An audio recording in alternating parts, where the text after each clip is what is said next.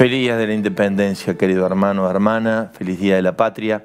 Un grito de libertad sonó por allá en Tucumán en un deseo profundo de darle mayor consistencia a lo que ya había ocurrido unos seis años atrás en Buenos Aires para que integrar el territorio todo en un solo lugar y ese era justamente el deseo de quienes nos representaron en aquel momento y que sigue siendo en la representación de quienes hoy tienen la vocación de servicio. Así que en ese espíritu es que nos ponemos en sintonía con la Virgen de Itatí, hoy es su día, y en el Evangelio de la Visitación en Lucas 1, 39, 45 nos lo recuerda la palabra que María, para mm, poder llevar adelante su vocación de acompañar a su hijo que venía a plantar una patria en medio de nosotros, la del cielo en medio nuestro, eh, se puso al servicio ¿no? y salió presurosa para eso. Que esa sea la vocación en la Argentina, la de ponernos al servicio.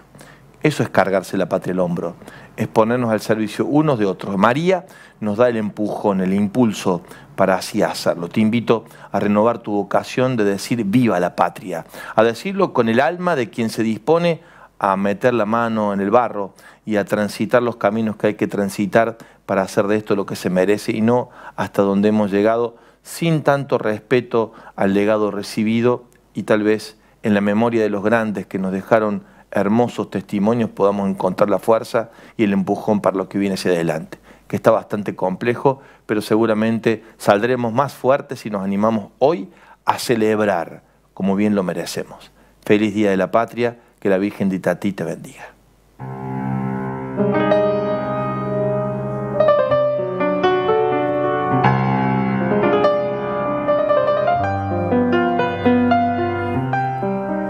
¿Será porque me dueles? ¿Será porque te quiero? ¿Será que estoy